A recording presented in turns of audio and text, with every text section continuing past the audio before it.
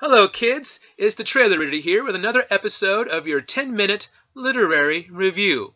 Today we'll be examining Charlotte Bronte's novel, Jane Eyre. Now, now, now, now, now, don't give me that look.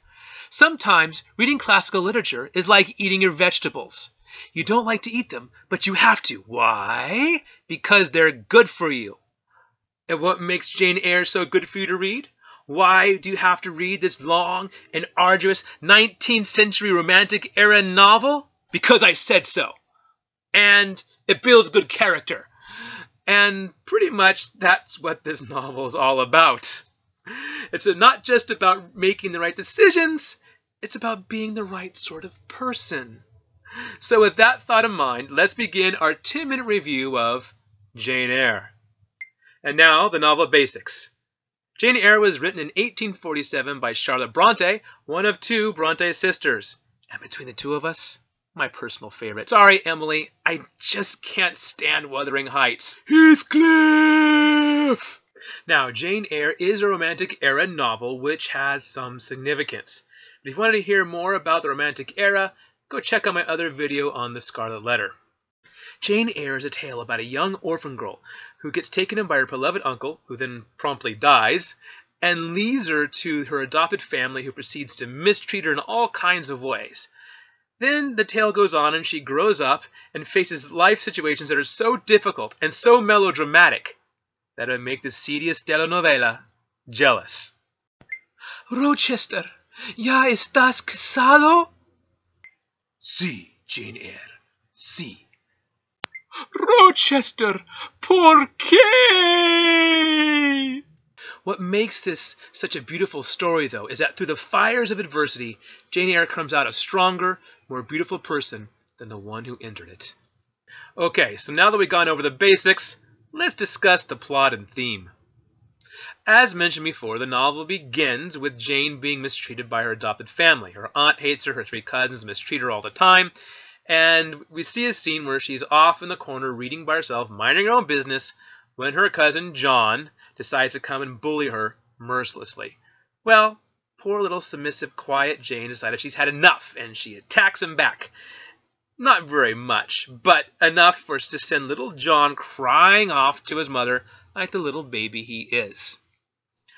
Anyway, Jane's aunt decides she's had enough of this girl, and she just orders the maids to lock her in the Red Room, which is the room where Jane's uncle has died, and the poor little girl fears his ghost, and she's locked in there all night, no food, uh, and she ends up coming out, and her aunt decides, you know what, I've had enough of this girl. I'm going to send her away to a boarding school, which at first Jane is so happy about. Oh, finally, I get away from these people. But then Mr. Brocklehurst, the minister in charge of the girls' school for poor people, uh, comes over the house and her aunt maligns her character viciously, saying, Oh, what a naughty and evil girl she is. You need to punish her as much as possible. And poor Jane's hope of escape is ruined. In a fitful rage, Jane decides to talk back to her aunt for the first time and give, delivers her such a scathing rebuke it leaves the aunt somewhat fearful of her mortal soul. You have not done your job as you promised to your dead husband, and you will be haunted. Now, at the school, Jane meets two people who change her life forever. One is Helen Burns. The second is Maria Temple. Now, Helen is a saintly girl about Jane's own age. Imagine the most perfect person you can possibly imagine has everything right, the sweetest disposition, and multiply that by 10, and you will have Helen. Now, unfortunately, because Mr. Brocklehurst is such a poor manager and, mis- and does not treat the girls well and providing them with proper nutrition or clothing and that sort of thing, many of the girls get sick, including Helen, and she dies of cholera. This devastates Jane, and she decides, you know what? Because Helen is with heaven now with God, I'm going to live the best life I can. And from that moment on, she decides to do no more resentful slammings of relatives, but be the best person and take it on the other cheek like Helen would. The second person to really influence Jane is Maria Temple. Now, Maria Temple is the head mistress of the school for girls. And she actually does her best to go behind Mr. Brocklehurst's back to make sure the girls get what they need in terms of education and nurturing and care. Uh, this really inspires Jane to become a teacher herself, and that is in fact what she does.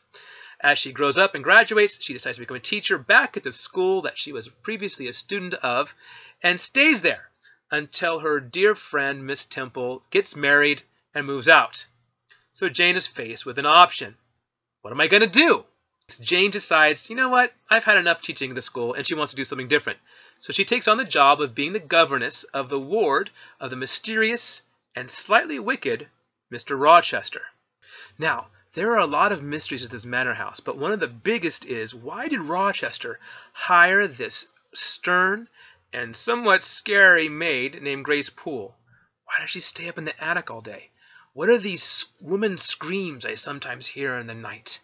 And who is the face of that woman that appeared above my bed while I was sleeping? Very good questions. And a very interesting answer. But before we get to the answers to those questions, Jane and Rochester fall madly in love. And they're a good match for each other. They're both very intelligent people with strong opinions. Uh, while Rochester is wicked, Jane is more saintly, and they seem to fit well together. But then, after Rochester proposes marriage and Jane happily accepts on the day of their wedding while they're doing their wedding vows. If there's anyone who might object to this wedding, uh, I've got an objection. And what's your objection? Rochester's already married. Rochester, you're already married? Yes, Jane Eyre. Yes. Rochester, why? As it turns out, Rochester really is married, but it's a pretty pathetic and sad marriage, and is mostly a sham. Rochester takes the whole wedding party up to the attic where he then shows them, locked behind the door, guarded by Grace Poole, his very violent and very crazy wife. He explains how they met, how he was sort of tricked into the marriage, and how miserable his life has been ever since.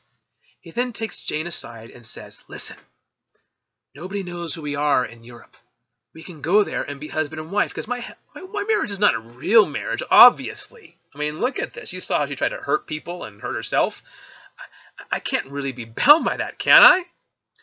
And jane faces the biggest temptation of her life. Do i set aside my morality and marry rochester or do i do what's right?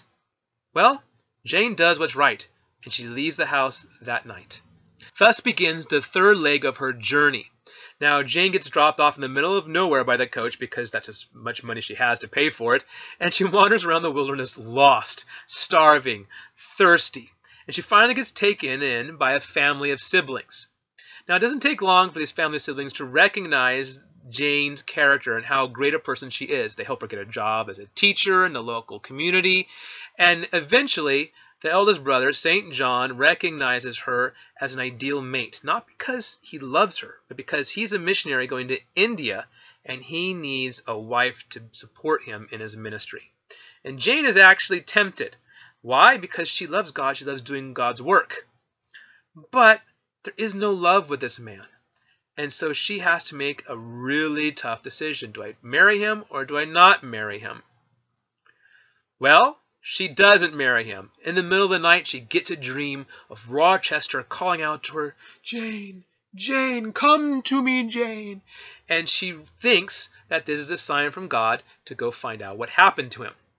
So she packs all her things, she goes away, and she discovers Rochester hidden away, not in his manor house, which is burned down to the ground, but in the little shack in the forest, scarred face, blind eyes, why? Because his wife went nuts, escaped, set fire to the whole house, and while she was trying to kill herself, he was trying to save her from the flames, but she pushed him away and leapt from the roof of the building, and the, everything collapsed, and Rochester barely made it out with his life. God has punished him for his sin of proposing marriage when he was already married. Fortunately, Rochester has repented of this sin, and Jane and Rochester still are very much in love, and they decide to get married. Now, Rochester is penniless, but that actually doesn't matter. Why? Because there was another rich uncle that Jane had that left everything to her when he died. Now, this message was severely delayed because of her wicked aunt. So, with all this, at the very end of the novel, Jane decides to pay a visit to her dying aunt. And on the bedside with her aunt, she forgives her for all the mistreatment that she's given to Jane. And it's a touching moment, sort of. Uh, the aunt doesn't really like Jane still, but she realizes the error of her ways. And she also repents of her mistreatment of Jane. Which leads us to one of the main themes of the novel, which is the importance of doing the right thing, especially when the wrong thing promises what your heart really wants. Okay, so now it's time to do some analysis, and I'm going to intersperse it this time with some of the reading tips. Tip 1. Remember the romantics. This novel is sort of fairy tale-ish with a small scattering of preternatural events that gives the reader a sort of a sense of a divine observer overlooking everything and occasionally interceding on the characters on their behalf or against them, depending on the moral choices that they make. Sometimes nature itself sends signs and portents. One of the most notable of this is when Rochester proposes marriage to Jane underneath this one tree, this one beautiful tree. Well, that very night, lightning strikes the tree and splits it in two, signifying that their love is doomed. Tip number two don't get lost in the details. There are many long descriptive passages and soliloquies and sermons that are in this book. And it's easy to forget the events that come before them and after them as you're going through it. So don't do that. Remember them because that will help you give insight into what the author Charlotte Bronte is trying to express through them. One of the most memorable of these types of passages is right after Rochester proposes that Jane and he leave for Europe and ignore the fact that he's already married. Now, Jane goes into this long sermon to herself, trying to convince herself of why doing the right thing is important, how morals are only good at moments like this, when the choice is tough Otherwise, what good is having a sense of morality if you can just pick and choose when you decide to turn it on and turn it off? Anyway, it's actually much more elegantly put than I just put it. But it's an example of the types of things that you got to pay attention to in this novel in order to get the point of the story. Tip number three research all the allusions and intertextual references. Look, guys, this book has tons of references to works outside the book, like literary tracks, Milton's poetry, the Bible, everything that your average 19th century reader would be very, very familiar with. Us, not so much. But she includes them in this work for a reason.